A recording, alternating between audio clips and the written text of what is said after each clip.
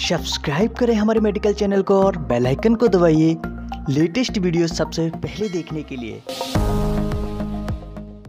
Hello everyone कैसे हैं आप? उम्मीद करता हूँ आप सभी स्वस्थ और मस्त होंगे। आज के हमारे विषय में हम जानेंगे विडाल टेस्ट रिपोर्ट्स को कब पॉजिटिव माने।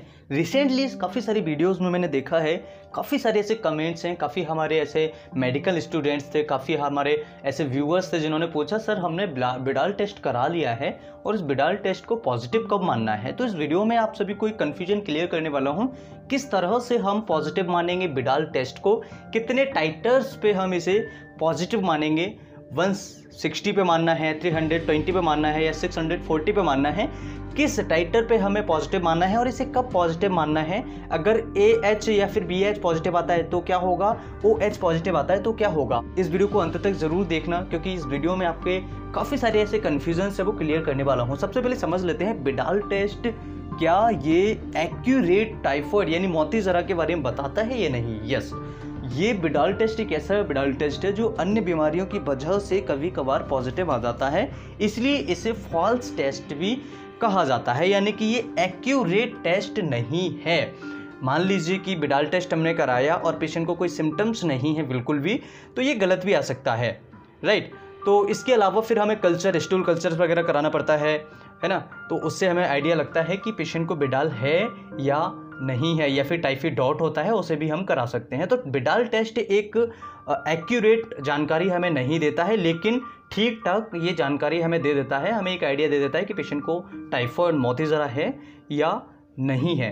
सो so, सबसे पहले समझ लेते हैं एंटीजन ओ मान के चलिए कि हमारे ब्लड में हमारे बॉडी में टाइफॉइड का इन्फेक्शन गया, जो सालमुलर पैलाटाइफी जिसे हम कहते हैं, ये इन्फेक्शन जब जाएगा तो हमारे शरीर के अंदर क्या होगा? एंटीबॉडीज प्रोड्यूस हो जाती है उस बैक्टीरिया के खिलाफ। जब हम इसे टेस्ट को कराते हैं तो हमें पता लग जाता है कि कौन सी एंटीबॉडीज प्रोड्यूस हुई है।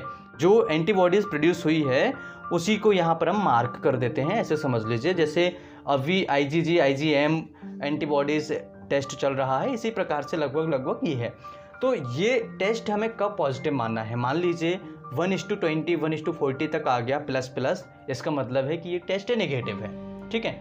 लेकिन कई बार क्या होता है कि पेशेंट्स को बहुत ज़्यादा सिम्टम्स हैं क्लिनिकल फीचर्स आ रहे हैं। क्लिनिकल फीचर्स का मतलब होता है पेशेंट को रिपोर्ट्स उसकी नॉर्मल आ रही है, लेकिन उसको सिम्टम्स हैं, उसको लक्षण हैं टाइफॉइड के, जैसे हाथ पैरों में दर्द होना हल्का फुल्का पेट में दर्द होना, भूख नहीं लगना, कमज़ोरी होना उसके बॉडी पर, उसके शरीर पर, उसके स्पेशली चेस्ट पर छोटे छोटे लाल लाल दाने आना, बुखार आना, बुखार बहुत ज़्यादा तेज़ आना, फिर से उतर जाना, ठीक है? इस तरह से स्टेप ब्लडर फीवर जिसे हम कहते हैं, इस तरह से बुखार इस पेशेंट के ऐसे लक्षण पेशेंट में देखने को मिलते हैं, सर में दर्द होना, काफ़ी सारे ऐसे इसके लक्षण होते हैं।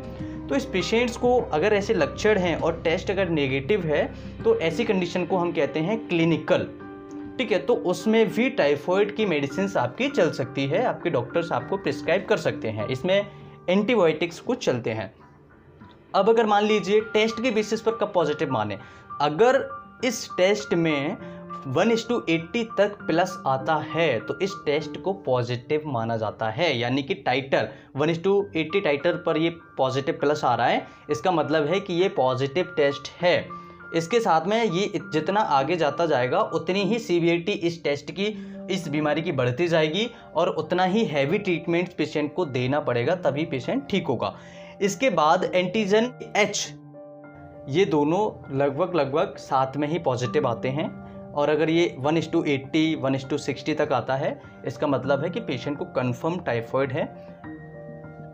इससे ज़्यादा कन्फर्म करने के लिए हम कल्चर करा सकते हैं।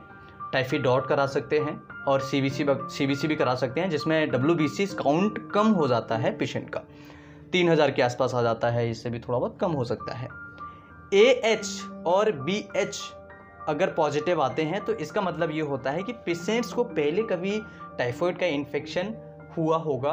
कभी दो महीने पहले, चार महीने पहले छः महीने पहले पेशेंट को टाइफॉइड इन्फेक्शन हो सकता है। लंबे समय से पेशेंट को टाइफॉइड का इन्फेक्शन चल रहा हो। तो आज के इस वीडियो में आपके तीन चार कन्फ्यूज़न क्लियर हो गए। पहला, कि अगर टेस्ट निगेटिव आ रहा है पेशेंट को लक्षण हैं, तब भी पेशेंट का ट्रीटमेंट चलेगा टाइफॉइड का। इसके अलावा दूसरा जो कन्फ्यूज़न था कि कहाँ तक इसे पॉजिटिव माने तो तो वन इज़ टू एट्टी तक अगर पॉजिटिव आता है टाइटर पर तो ये इसको पॉजिटिव मानते हैं प्लस प्लस है। इसका मतलब ये पॉजिटिव आ गया है। जितना सीवियर जाता जाएगा, उतना सीवियर उतना लक्षण उस पे उस बीमारी के होंगे और उतना ही हैवी ट्रीटमेंट उसको दिया जाएगा। इसके अलावा ट्रीटमेंट की बात करें तो एंटीबायोटिक्स बेसिकली दिया जाता है और आपको प्रिवेंशंस क्या करने हैं? प्रिवेंशंस के तौर पर आपको बाहर की चीज़ें तुरंत बंद कर देना है क्योंकि जो साल्मोनेला पैराटाइफी होता है और साल्मोनेला टाइफी होता है, ये बाहर की चीज़ों में जैसे गंदी चीज़ें जैसे मान लीजिए गोलगप्पे खा रहे हैं, बाहर के पिज़्ज़ा बर्गर्स खा रहे हैं किसी किसी व्यक्ति का हाथ सही से साफ़ नहीं है और उसी हाथ से वो बार बार किसी चीज़ को, खाने की चीज़ को हमें दे रहा है तो ऐसी कंडीशंस में ये इन्फेक्शन होने के ज़्यादा चांसेस होते हैं। तो फ्रेंड्स आज आप समझ गए होंगे बिडाल टेस्ट के बारे में, बिडाल टेस्ट कैसे, क्यों किया जाता है। और आज की वीडियो में इतना ही, फिर मिलते एक नई वीडियो में, तब तक के लिए वीडियो अच्छा लगे तो लाइक करें शेयर करें, चैनल को सब्सक्राइब करें बाबा ठीक है thanks for watching have next day